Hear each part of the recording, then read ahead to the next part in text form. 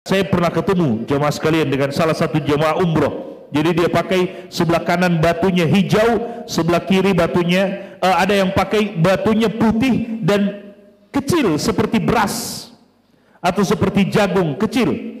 Ya, saya tidak tahu dia bercanda atau atau serius. Dia katakan saya kalau lapar Ustaz tinggal melihat batu ini ya kemudian dijilat sedikit kenyang. Subhanallah. Tapi giliran makan siang ketemu di restoran. ini bagaimana nih? Ya. Giliran makan siang ketemu di restoran. Ya. Ada keyakinan-keyakinan seperti itu jemaah sekalian. Bahwa kalau kamu mau ada juga di sana itu di sana itu kalau ada yang sudah pernah umroh di Mekah ataupun di Madinah ada yang dijual ya dia semacam pala besar bentuknya seperti kedondong tapi keras seperti pala kalau dibelah isinya cuma kecil sekali. Isinya di dalam seperti kelapa kecil ya.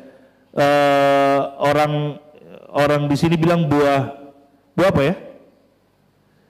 Uh, katanya untuk menyuburkan kandungan juga. Buah apa? Kalau biasa saya pernah baca ini ya? Buah zuriat ya? Buah zuriat iya buah zuriat. Zuriat itu anak keturunan ya. Buah zuriat katanya untuk menyuburkan kandungan ada sebagian daerah bukan buah zuriat mereka namakan mereka namakan buah nyamang. Ya buah nyaman. Jadi saya tanya untuk apa? Katanya Ustadz kalau kita beli buah ini kita taruh di rumah itu memanggil rezeki mendatangkan rezeki. Ada yang berkeyakinan seperti itu jamaah sekalian.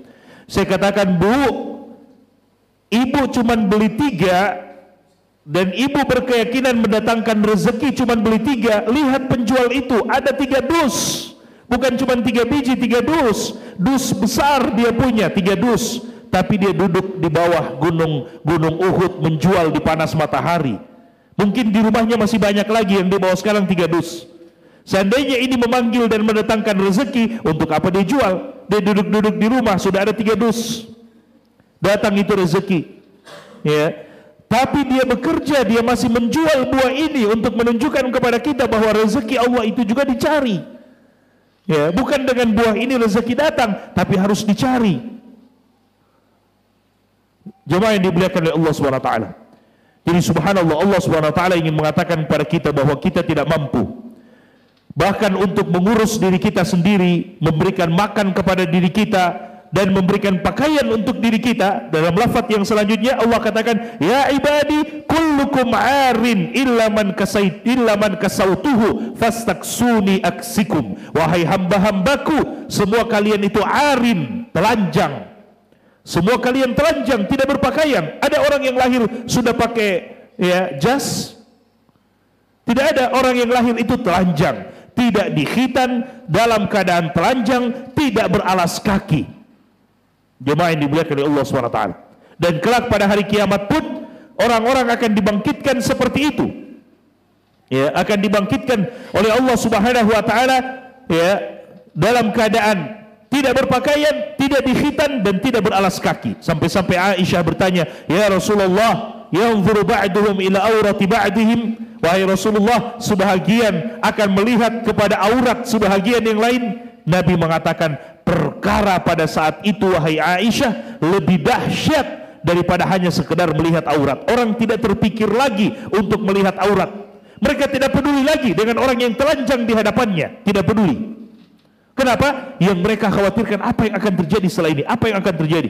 Bagaimana mereka bertanggungjawabkan di hadapan Allah Subhanahu wa taala. Tapi Allah ingin mengatakan kepada kita bahwa kita fakir jemaah sekalian. Makan kita tidak bisa. Pakaian kita tidak punya. Siapa yang berikan semuanya? Allah yang memberikan semuanya kepada kita. Allah yang berikan kita makan, Allah yang berikan kita pakaian, ya, bukan orang tua kita yang berikan kita pakaian. Siapa yang berikan kepada orang tua kita uang yang rezekikan kepada mereka, lalu dengan rezeki tersebut mereka cari, ya, sebelum lahir mereka cari pakaian mana yang terbaik. Ini persiapan untuk lahirnya anak saya dan seterusnya. Setelah lahir diberikan pakaian dan seterusnya. Subhanallah, ya. Jemaah yang dimuliakan oleh Allah SWT itu semua adalah pemberian dari Allah SWT